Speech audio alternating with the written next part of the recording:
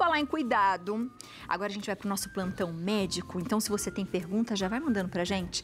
1231041212, hashtag Eu na TV. De acordo com a Sociedade Brasileira de Estudos da Dor, 37% da população do nosso país sofre com dor crônica. A dor da região do joelho é uma das mais comuns no Brasil e no mundo. Cerca de 69% dos brasileiros acima de 18 anos sentem dores nessas articulações. E para falar sobre isso, a gente recebe a fisioterapeuta PhD em reabilitação física, doutora Valquíria Fernandes. Doutora, seja muito bem-vinda ao nosso Santa Receita.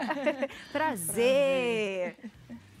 Que bom tê-la aqui. Obrigada, é um prazer estar aqui com vocês. Doutora, você vem de onde? Olha, eu ah. estou atualmente morando em Natal. Que delícia! É uma delícia, que né? Que lugar maravilhoso. É. Mas você é de lá, não? Não, eu não sou de Natal. Eu sou mineira. Uhum. Morei muitos anos no Paraná, depois no Mato Grosso, agora estou em Natal. Que demais, que gostoso. Seja bem-vinda é, à nossa obrigada, casa, é um prazer muito grande estar aqui, é, poder passar conhecimento, conteúdo para a audiência de vocês. Agradeço a TV Aparecida e o convite de vocês. Obrigada.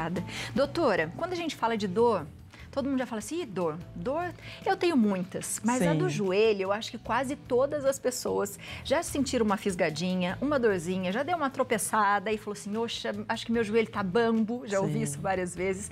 A dor no joelho é comum?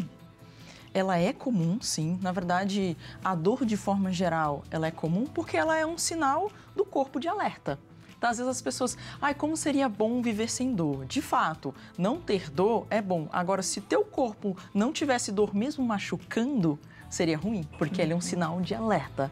É a dor que faz você buscar uma ajuda para você não ter uma lesão mais séria. Então a dor é importante. E a dor no joelho, a articulação do joelho, é uma articulação que sofre uma sobrecarga, né? A gente precisa fazer as nossas atividades em pé. Uhum. Eu preciso me locomover. E para isso eu jogo o meu peso aqui em cima do joelho. Então eu preciso ter um bom equilíbrio e acaba sendo comum sim a dor no joelho. E o que, que a gente tem mais comum em relação aos problemas, doutora? Olha, dor na coluna vertebral é muito comum. Então a gente tem essa parte de baixo, que é a uhum. lombar, isso aqui é muito comum, e a parte de cima, que é a cervical, que é a dor no pescoço. Então também são dores muito comuns que chegam no consultório e aí o ombro. Então essas daí, coluna vertebral, joelho e ombro são as campeãs para chegar campeãs. no consultório. Em relação ao joelho, quais são os problemas que a gente pode ter? Muita gente fala assim: "Ah, eu acho que eu não tenho mais a cartilagem". Exato. É, né? Como que isso acontece? Quais são os, os piores desgastes ou problemas que a gente pode ter no joelho? Exato. O que, que acontece? O, a gente vai envelhecendo, né? uhum. né? Então, assim, eu com 20 anos ali, eu tenho uma arte cartilagem legal. A gente tem até um joelho aqui, né? Posso já pode, usar ele pode aqui? Para mostrar pro pessoal. A gente tem algumas estruturas aqui no joelho. Eu tenho tendões. Aqui tem um ossinho aqui embaixo, que é a patela, que a gente chama esse ossinho aqui. Eu tenho tendão em cima e embaixo. E aí eu tenho ligamentos, que a gente vê nessa parte lateral, a gente vê nessa parte medial e a gente vê aqui por dentro. Eu tenho alguns ligamentos internos ali. Esses ligamentos geram essa estabilização e o tendão vai conectar o músculo, que é esse músculo da coxa que nós chamamos de quadríceps. Então eu preciso ter um bom equilíbrio para isso. Mas a partir do momento que a gente vai envelhecendo, é comum que aqui dentro eu tenha uma cartilagem. Esse osso nós chamamos de fêmur e aqui patela. Então tem uma cartilagem entre essas duas estruturas, fêmur-patelar. E essa cartilagem que favorece esse movimento, ela pode ir degenerando, porque a gente está envelhecendo. Uhum. Quando envelhece, o cabelo branco não vai aparecendo? Vai aparecendo. É o sinal, né? Aqui também a cartilagem ela vai degenerando, que é o que a gente chama de artrose. Então, uhum. a degeneração dessa cartilagem, que favorece, né, que está aqui na articulação e favorece esse movimento, ela degenerando, ela começa a gerar alguns pontinhos de dor. Por quê? Porque eu começo a ter uma pressão maior entre o fêmur e a patela. Então, essa pressão maior faz com que gere mais dor. Por exemplo, subir descer escada. Hum. É um hum. movimento que, na hora que eu jogo ali, eu jogo muita pressão patelar. Então, isso, se eu não tiver um joelho bem equilibrado e a cartilagem estiver legal, ele pode gerar bastante dor para o paciente. E é possível, doutora, pessoas que têm o joelho mais fortalecidos, por exemplo, por atividades físicas, acontecer esse desgaste e a pessoa não sentir dor ao executar algumas coisas, por exemplo? Ótima pergunta. Você falou uma coisa muito interessante. Porque às vezes as pessoas acham que a dor ela está relacionada à degeneração. Uhum. E hoje tem saído muitas pesquisas mostrando que a dor não é diretamente proporcional à cartilagem degenerada. Existem pessoas que têm uma cartilagem degenerada, mas não têm dor. E elas não descobrem porque elas não fazem exame. Uhum. Então as pesquisas vão lá e falam: não, deixa eu fazer exame em pessoas que não têm dor ainda. E quando faz, nossa, mas já tem uma degeneração articular, mas não tem dor. Por quê? Porque tem um equilíbrio da articulação. A musculatura fortalecida, ela gera um equilíbrio nessa articulação. Então, músculo forte e mobilidade são essenciais para ter esse equilíbrio. Olha que interessante, mas não deixa de acontecer e de ter que fazer um tratamento por exemplo. Exato. A gente precisa sempre avaliar e entender como que está a relação entre as articulações. Por exemplo, se eu vou caminhar, eu preciso do meu tornozelo, eu preciso do meu joelho, eu preciso do meu quadril da minha coluna. Então não adianta o meu joelho não ter dor, mas a pessoa virou o pé, teve um entorse de tornozelo. Ela começa a sobrecarregar mais aquela região e aí as outras articulações acabam sobrecarregando também. Então, se eu tenho alguma articulação para algum movimento que eu preciso de várias, uhum. pode acabar sobrecarregando. E muitas pessoas descobrem coisas no joelho também pelo barulho. Vai Sim. subir uma escada, fica, parece que tá quebrando Sim. a caquinha de vidro. Aí você fala assim, opa, tem alguma coisa errada. Exato. Isso também é um alerta, doutora? A gente chama isso de crepitação, esse estalido, né? Parece que está tudo cheio de areia estralando ali dentro. Da mesma forma, o estalido, essa, essa crepitação, hoje não tem uma relação direta, né? Se a gente for buscar os, os artigos mais novos, eles falam que a crepitação não gera dor. Mas geralmente a pessoa que tem essa crepitação, ela tem uma sobrecarga maior no joelho. Então já é um sinal de alerta ela não tem dor ainda, mas ela tem que ver, opa, será que eu estou sobrecarregando meu joelho? Como que está esse equilíbrio dessa região? Então já é um sinal de alerta para ela ficar esperta. Mas não é algo preocupante dela pensar, nossa, tá tudo estragado ali. Não, não tá, tá perfeitinho. Mas já é algo para ela pensar, será que tem algo que eu estou fazendo? Por exemplo, as pessoas às vezes que treinam muito pesado também é ruim, uhum. porque você sobrecarrega a articulação. Então eu tenho que achar esse meio termo para não sobrecarregar essa articulação. E traumas, por exemplo, na infância caiu um tombo, por exemplo, isso pode, quando a gente está adulto, é que você vai perceber que algo já não estava muito bom ali? Ou não? É, depende, depende, depende, do trauma, né? Porque a criança pode cair de várias formas e isso não gerar problema nenhum para ela. Mas assim, da mesma forma, ela pode ter um impacto importante aqui na patela e isso ter, às vezes, alguma alteração ali para ela e começa a gerar esse desajuste. Por exemplo, a minha irmã, quando ela era criança, ela tinha isso aqui. Antigamente o nome era outro, chamava rótula, bem antigamente. Uhum. Hoje é patela. Ela tinha o que chamava rótula luxável, ou seja, essa parte do fêmur dela era mais rasa. Então ela não tinha essa voltinha, ela era mais rasa.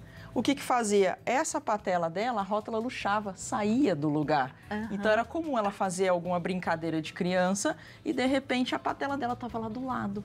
E isso gerava muita dor para ela. Então eu via ela deitada no chão, chorando. Aí ia meu pai lá tentar ajudar ela a fazer um movimento com o joelho para encaixar novamente. Mas isso era um problema que a gente chama congênito. Ela nasceu com essa região mais rasa, então favorecia. Qual era o tratamento? Fortalecer muito bem. Porque se eu tiver os músculos fortes, ele gera uma estabilidade dinâmica que a gente fala. Quando eu contraio o músculo, opa, ele segura o joelho. E a outra estabilidade são os ligamentos, que é o estático. Então, ela gerando esse equilíbrio e fortalecendo, ela ficou ótimo, não sentiu mais. Legal. Léo tem uma perguntinha. Vamos claro. lá, Léo. Tenho, tenho uma perguntinha. Doutora, esse, esse problema que normalmente as pessoas têm, eu tenho, eu sempre tive desde criança, que é o pé chato, né? E a gente sabe que é nessa parte aqui dessa região do joelho, parece que a perna é um pouco torta. Tem a ver mesmo com o joelho, o pé chato, ou é uma coisa diferente? Você acredita que eu estava assistindo o programa e eu falei pra Raíssa, eu falei, o pé do Léo. Eu já usei eu falei, botinha, eu tô vendo o pé dele tudo. chato no chão. O pé do Léo não é legal. Não é legal. Tô vendo é o pé dele chato. Tem conserto isso, doutor? Tem conserto isso. O que, que é o pé chato? O terapeuta tem essa visão, né? A gente olha a pessoa e já olha E ela vai falar assim, a Biane é torta. Ela também prestou atenção, a Biane é torta. Não, não. A gente não busca a parte alterada, a gente busca a solução. Mas é interessante essa pergunta do Léo, porque assim, é dúvida de muita gente mesmo. O pé chato é o quê? É a volta voltinha de dentro, que a gente tem um arco ali no pé, uhum. são as pessoas que não têm praticamente essa voltinha. Quando a pessoa fica em pé, o pé desaba. Ele fica reto no chão, né? E o, o tênis que ele tá favorece isso, o pé realmente cair no chão eu não posso dizer que a pessoa com um pé chato, com um pé plano, ela vai ter uma alteração no joelho. Eu não uhum. posso fazer essa relação causal. Mas, dependendo das alterações do corpo dela, favorece. Ela tem uma tensão um pouco mais interna. Porque na hora que ela, o pé desaba ali, ela tem uma tensão mais interna dessa musculatura. Então, tudo vai depender de outros fatores.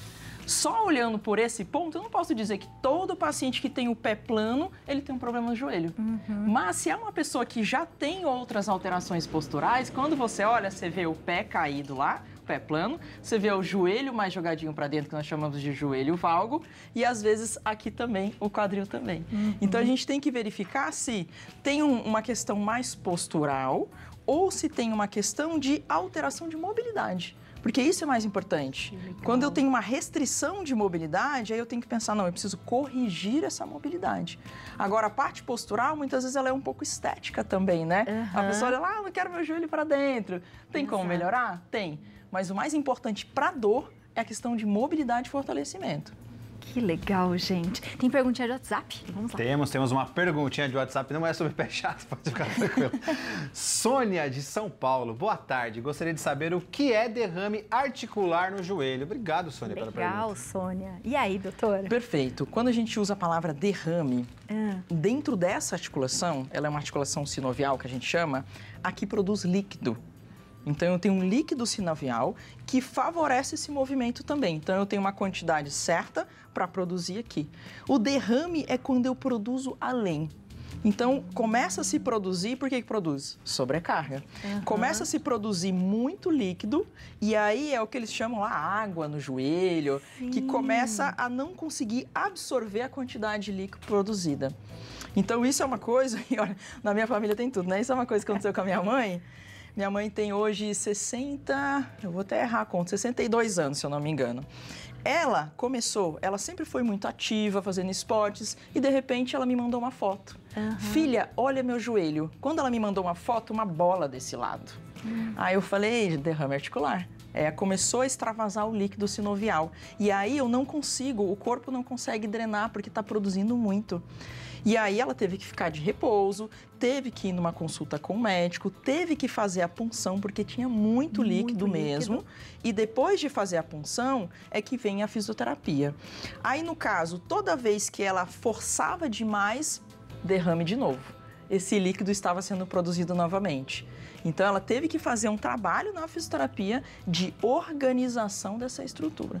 Então usar um raciocínio clínico avançado para entender essa sobrecarga que está aqui no joelho, que era da minha mãe, será que o problema está aqui só no joelho? Uhum. Porque às vezes a gente foca na região mas o problema ela pode estar relacionado com o pé do Léo, ela pode estar relacionado com o quadril de alguém que talvez todo dia ele dobra sempre a mesma perna, ou uhum. a mulher que fica sempre com a mesma perna, né? Não tem uma preferência? Sim. Tem uma que é mais gostoso. Uhum. E essa perna tem uma mobilidade às vezes diferente do outro lado. Então a gente acaba tendo mobilidades diferentes e isso gera influência em algumas articulações. Aí no caso dela foi feito esse equilíbrio e fortalecido essa musculatura para dar estabilidade. Zerou, não teve mais derrame. E eu fiquei sabendo que você tem um tratamento específico e extremamente diferenciado que fala bastante sobre isso, né? Exato. né? Tipo, eu não vou focar só ali, deixa eu te olhar por inteiro. Como que ele funciona, doutora? Exato. Eu gosto de dizer o seguinte, eu me formei há 18 anos atrás. E quando eu me formei, eu tive eu aprendi o que eu chamo hoje de antiga fisioterapia. Era um tratamento local, né? Uhum. Então, várias pessoas já foram hoje na fisioterapia. Ah, eu trato o ombro, eu trato o joelho, eu trato... Eu tenho que tratar a pessoa como um todo. Eu tenho que olhar para a Biane, eu tenho que ter uma visão de 360 graus. Uhum. Será que o ombro dela que está mais alto aqui é o ombro? Ou tem uma relação com a coluna? Ou é o pé? Então, entender o corpo como um todo para saber exatamente aonde que está a causa desse mecanismo, dessa alteração. E depois de 18 anos atendendo milhares de pacientes, fiz mestrado mestrado, fiz doutorado, estudei muito e consegui entender que eu preciso sair fora da caixa. E o que é sair fora da caixa na fisioterapia? É eu ter esse raciocínio clínico avançado, é eu ter essa visão de 360 graus e eu descobrir rapidamente da onde está vindo essa causa. Então, se eu tenho um problema no joelho, eu ensino meus alunos logo na primeira consulta qual é a articulação que está gerando esse problema no joelho. Porque, assim, eu falo que os pacientes eles não têm paciência, não. Uhum. Né? Você tem uma dor, você quer alguém para tratar você essa alguém dor que resolva. rápido. Então, assim, se você vai confiar num fisioterapeuta para te fazer uma consulta, você já quer ter o diagnóstico. Eu quero meu diagnóstico, eu quero meu prognóstico, quanto tempo eu vou demorar para melhorar. Uhum. Você já quer a resposta. Então, eles têm que ser assertivos. A fisioterapia, ela tem que ser cada vez mais solução. Qual é a solução do pé do Léo, né? Ele uhum. quer saber. Então, assim, a gente tem que fazer a avaliação e descobrir realmente, não, o problema é esse aqui. Então, eu consigo falar para o paciente, olha, teu tratamento funciona desse jeito, o problema seu é esse, e como que a gente vai resolver isso daí? E aí eu chamei ele de raciocínio clínico avançado 360. Que demais. E aí, por exemplo, numa consulta você já consegue identificar o que, que você vai precisar fazer, que nem Exato. sempre é uma aplicação de algo, é mais ou menos isso. Exato. O, a fisioterapia, ela tem duas vertentes, né? Hoje em dia, a gente tem tanto a parte manual, que a gente chama uhum. de terapia manual, e tanto a parte dos exercícios.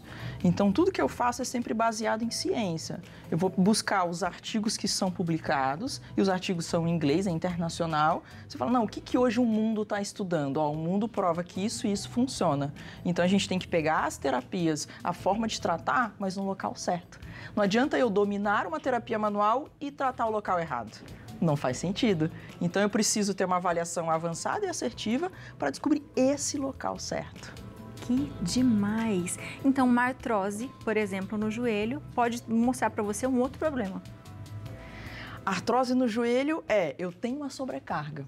Então, se eu tenho uma sobrecarga no joelho, da onde veio essa sobrecarga? Então, imagina só, artrose eu tive uma sobrecarga. Sobrecarga é movimento demais. Uhum. A pessoa pisava, jogava essa sobrecarga. É uma hipermobilidade. Para gerar uma hipermobilidade ali, algum, alguma outra articulação está mais restrita.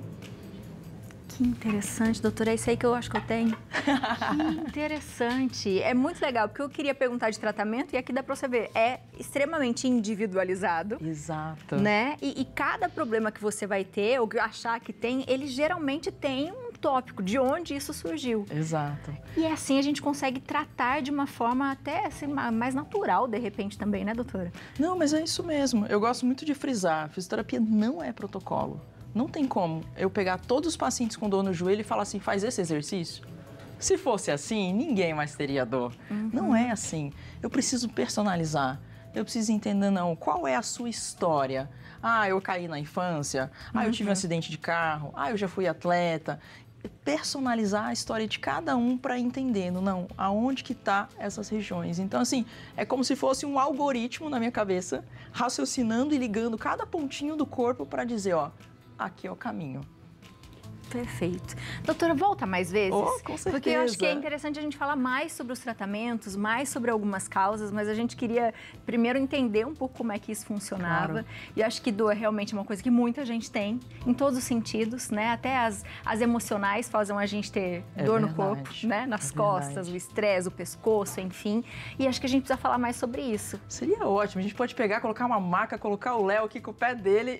Adorei. Se você já passar a temporada lá em Natal, Natal, doutora. Olha, já tô, já tô não é curioso é esse tratamento já.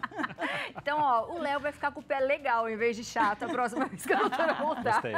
boa, boa. Adorei. Você de casa, aproveita para seguir a doutora, arroba doutora Valquíria Fernandes. Está aparecendo para você com um underline aí, Y e K.